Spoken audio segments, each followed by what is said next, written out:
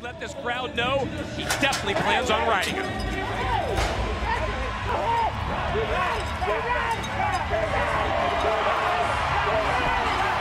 Oh, they're going to take a look, but man, oh man. Nobody likes this bull from a rider standpoint.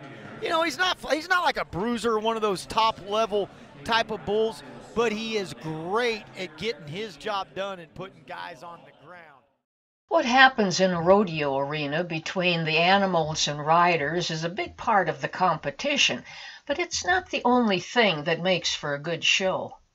Someone has to be there to describe the action in a colorful and informative way.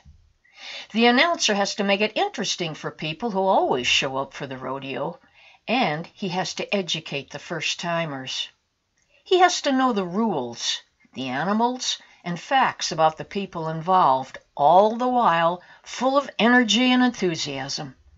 It's a special job performed by a special person. The bull's head slams into the rails that seem to scream in pain. The stock pen settles, gives up any reason to complain. His hoof digs deep, then hurls a hunk of rodeo real estate. Clear snot leaks from his nose while frightful eyes are filled with hate. His beller joins the chorus of the rough stock in the pen. Rank critters bide their time until they go against the men. Doug scrutinizes fury as he tours the holding grounds. He makes a mental note and then continues with his rounds. Doug studies all the livestock, knows each rider's record stats. He gladly shares his info if a rider stops and chats.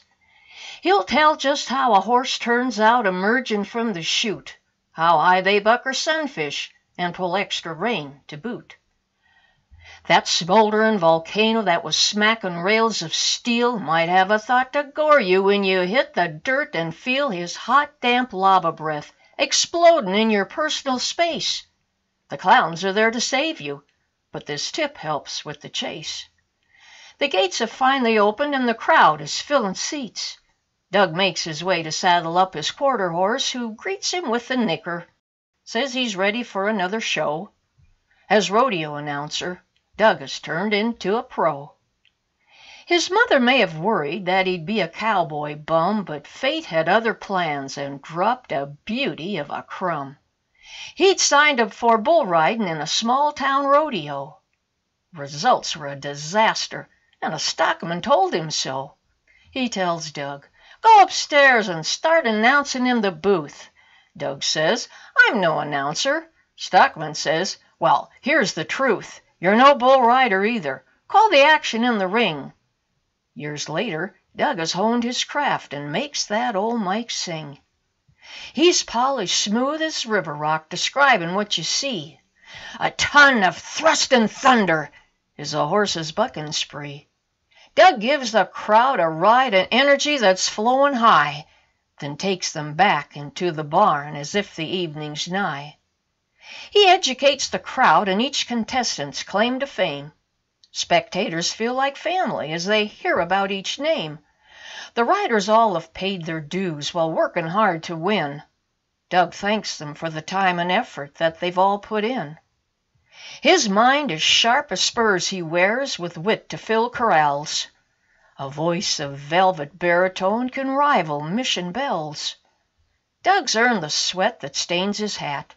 He wears it like a brand. He sits tall in the saddle with a mic grip in his hand.